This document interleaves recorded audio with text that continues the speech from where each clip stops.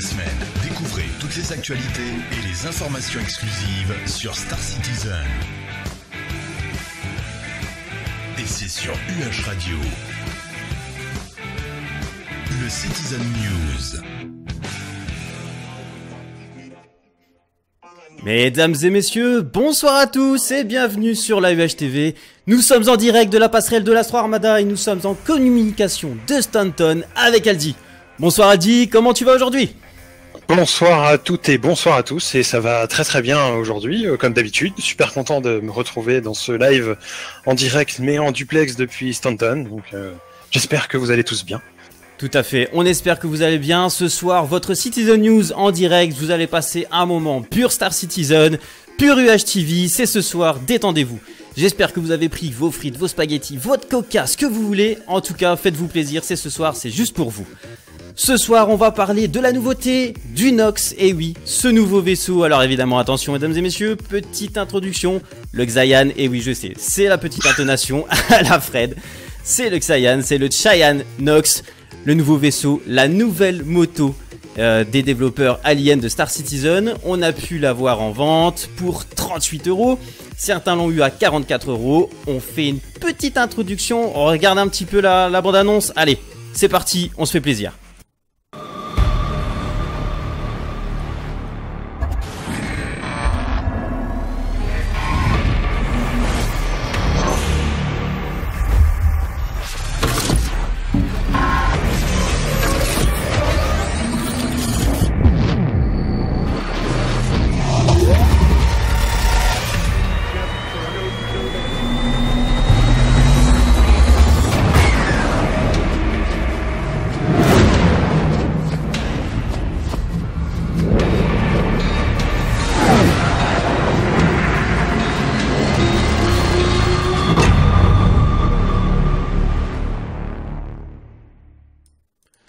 Le Nox, un vaisseau, une moto, une légende. Moi, ça me fait rappeler les Harley Davidson. Sérieux, ça a de la gueule. Adi, t'en penses quoi? Ça, c'est une moto. Ça a vraiment de la gueule.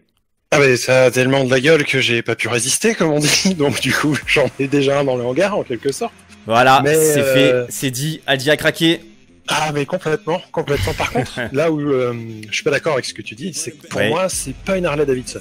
Pour moi c'est plus, euh, pour moi c'est une Suzuki Hayabusa, parce que en termes de, ligne, Ouais. ouais une Suzuki. C'est clairement une, une bécane euh, aux lignes japonaises et clairement une Suzuki, parce que la ligne et même la com, la com qui est faite autour euh, sur la page quand vous allez sur le site internet de Robert Space Industries et sur la page du Nox, Ouais. honnêtement, même la com, j'ai l'impression de relire la brochure de la 1100 ou je crois que c'était la 1000 Hayabusa, je sais plus à l'époque, quand j'allais dans les dans les concessionnaires Suzuki. Donc c'est vraiment euh, pour moi une inspiration d'une bécane Suzuki, mais vraiment. Et ça a de la gueule. Ça Ouais. a carrément de la gueule. Non, coup, ça a vraiment de la gueule, clairement. Euh, donc voilà, le Nox, nouveau, nouveau vaisseau, à savoir que ce vaisseau eh bien, a un emport d'armes de taille S1, bien évidemment. Alors il faut se dire, ça va pas être un vaisseau qui va pouvoir euh, prendre euh, le dessus, évidemment sur un Gladius, un sabre, etc. Mais c'est un petit, petite moto d'intervention par par rapport aux armes. Voilà, c'est quelque chose, c'est un parti pris. Alors on avait avant le Dragonfly, tout le monde aimait Dragonfly. Euh, malheureusement, je pense que pour tout le monde, le Dragonfly est passé en phase en place 2.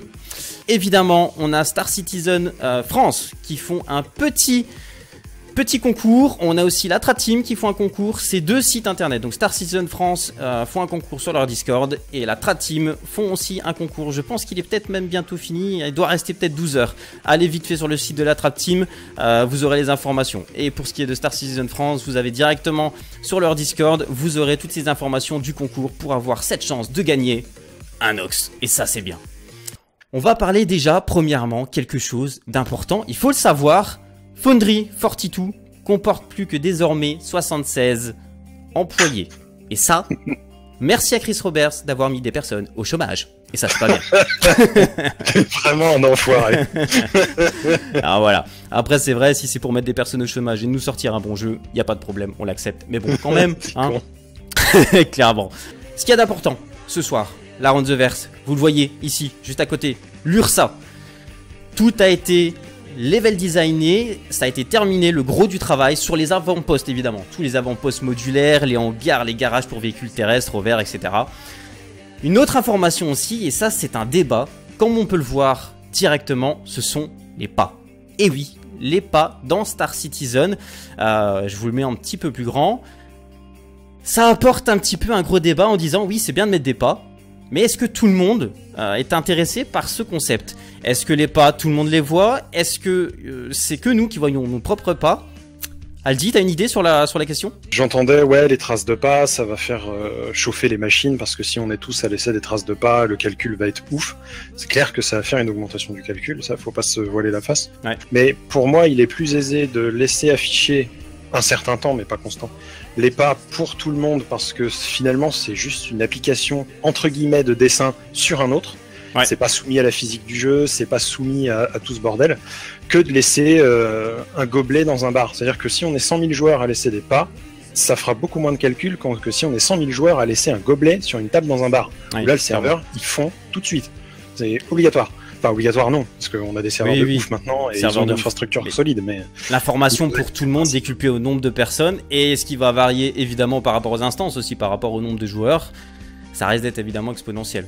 Pour les passes, c'est utile en PvP. Et c'est vrai, est-ce Oui. que, euh, est-ce que par exemple, alors on aura du matériel de détection, de- d'affichage, de, scan pour les gens. Donc là, du coup, les passes sont plus vraiment utiles.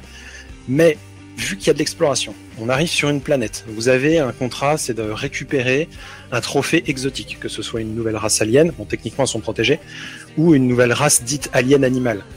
Comment vous allez faire pour détecter, étant donné que c'est la première fois que vous allez en voir? Il va bien falloir suivre quelque chose. Ouais. Bah, les pas, les traces de pas. Il y a, Ah, y a rien de plus basique et standard que ça. Donc quelque part, même en PVE entre guillemets, ça peut être hyper intéressant. En plus, ça rajoute toujours un peu d'immersion. Par Clairement, contre, comme le dit tout le monde, chasseur de primes. La chasse à la prime aussi. Trouver les, trouver les pas, euh, même pour tout, que ce soit même pour retrouver les, les animaux, puisqu'on aura évidemment la, la faune dans Star Citizen. Peut-être qu'il y aura de la chasse, peut-être que certains animaux seront privilégiés sur certaines planètes, etc. C'est quelque chose qui peut vraiment euh, mettre une plus-value par rapport au gameplay. Tout à fait. Et après, pour revenir à la question de calcul, mais est-ce que finalement ça va pas être, comme tu disais dans ton introduction de la question, Mhm. un affichage personnel client-side, comme on dit? Ouais. Ça se trouve, moi, euh, perso Aldi, je vais faire des traces de pas que toi, perso Fred, tu ne verras pas. Et vice versa. Clairement. Et Versavis et Vercingétorix ne rendit jamais les armes. Qu'il s'il fallait que je la place.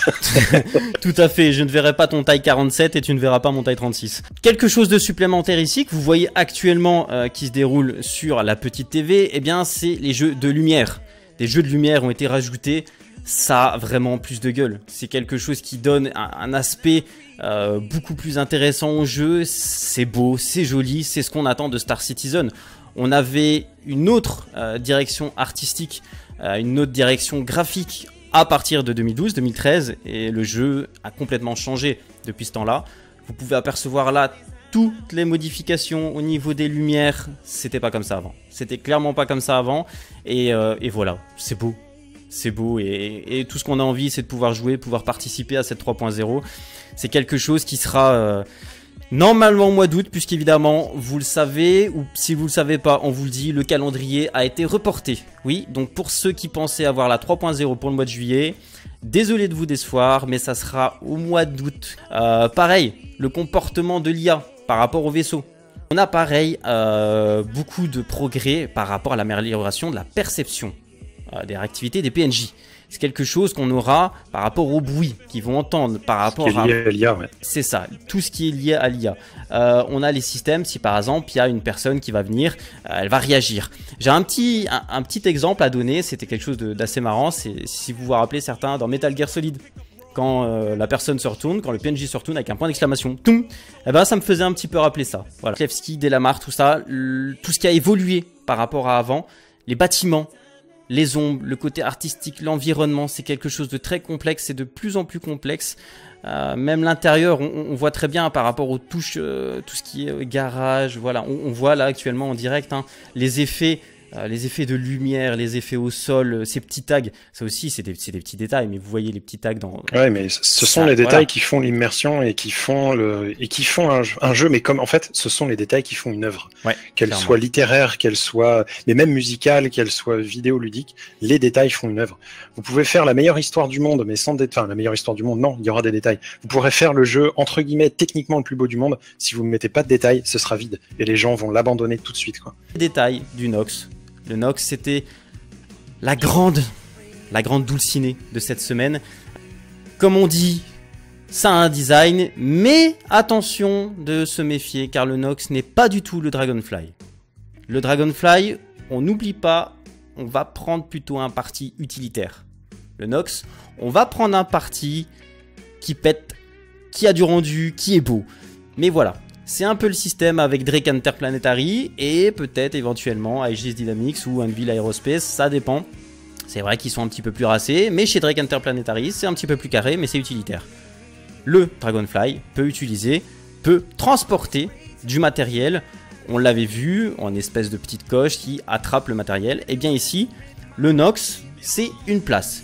Une place avec protection, bien évidemment comme tu viens de le dire, de toute façon, Dragonfly est beaucoup plus utilitaire. Donc même si euh, une part de vitesse peut être importante, le, Nox, enfin ou la Nox d'ailleurs, on va remettre le petit débat euh, qu'il y avait sur euh, sur SPN il y a peu de temps.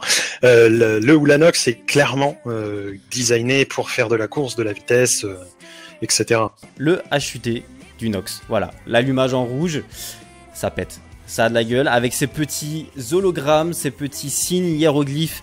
Eh bien, Cheyenne, eh oui, Cheyenne, Zayan, le Calès. Trouvez le bon. la prononciation à la Fred sera toujours le Xayan. Ne cherchez pas. Et on passe maintenant à la construction des systèmes solaires.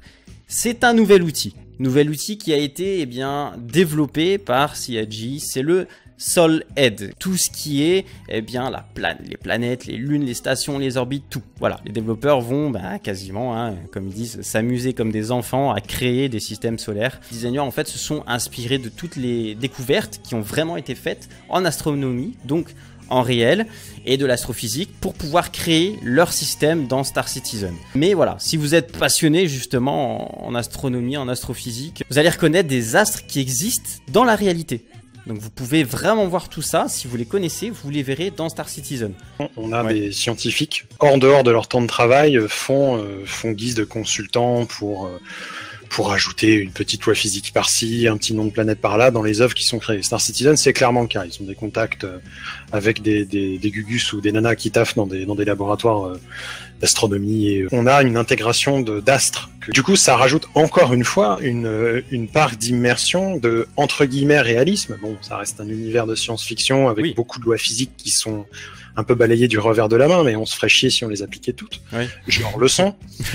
Clairement. Même si c'est une très bonne hein. explication à ça. Ouais, c'est un débat. Hein. Tout le monde dit, euh, mais bah non, il n'y a pas de son dans l'espace, c'est pas possible. Et oui, Star Citizen, CIG ont utilisé, eh bien, l'excuse, on va dire ça comme une excuse, que le casque simule le son pour avoir justement une orientation dans le jeu. Alors que ça aurait été moi en leader du truc, j'aurais dit ouais, mais sans le son, se fait chier. Point barre. Clairement. Il y, en a qui partent trop dans l'optique du oui, ils veulent faire un truc hyper réaliste, donc il n'y a pas son dans l'espace. Mesdames et messieurs, je tiens à vous préciser que Star Citizen est un jeu. Combien de systèmes il y aura plus ou moins? Eh bah, c'est un peu plus de 100 systèmes. On a Eric Caron qui justement a ajouté que juste le système euh, Stanton représente à lui tout seul 800 millions de kilomètres. The Best Stellar. Comme on dit, on espère qu'on va pas jouer à Star Citizen quand on sera en maison de retraite. Ah bah non, hein. N'est-ce pas Jean-Paul? On va avoir du mal sinon à travailler. Oh là là. Merci à vous, merci de suivre la chaîne, la chaîne euh, Twitch qui est juste en bas. Vous faites un follow, un suivre là ou là, je sais pas, c'est en haut, c'est quelque part par là. Euh, vous avez aussi la chaîne YouTube. Nous remettons les rediffusions. Alors nous mettons les best-of de la rediffusion de la UHTV. Nous le mettons sur YouTube et également sur le site de Star Citizen France. On vous a aussi donné le site. Vous pouvez gagner un Ox. Faites-vous plaisir, allez dessus. Soutenez-nous, soutenez tout le monde, soutenez la communauté francophone. J'ai aussi une petite dédicace à faire, je tiens à le dire. Attention mesdames et messieurs, ceci n'est pas une blague. Eh maman, je passe à la TV. Je tiens aussi à remercier ma compagne qui, eh bien, qui m'accompagne, qui me soutient sur, sur ce projet de, de, la TV et de la radio. Aldi, Merci de m'avoir accompagné. N'hésitez pas à aller sur le site de www.uhradio.fr pour venir poser vos questions. Vous avez aussi le Discord qui est sur le chat. Rejoignez-nous, venez discuter avec nous. Mesdames et messieurs, merci à tous. Passez une très bonne soirée. Merci de nous avoir accompagnés dans la UHTV. C'était Fred et Aldi. Ciao, bonsoir. Et n'oubliez pas, hurlez dans l'œil d'un sourd, il n'entendra rien.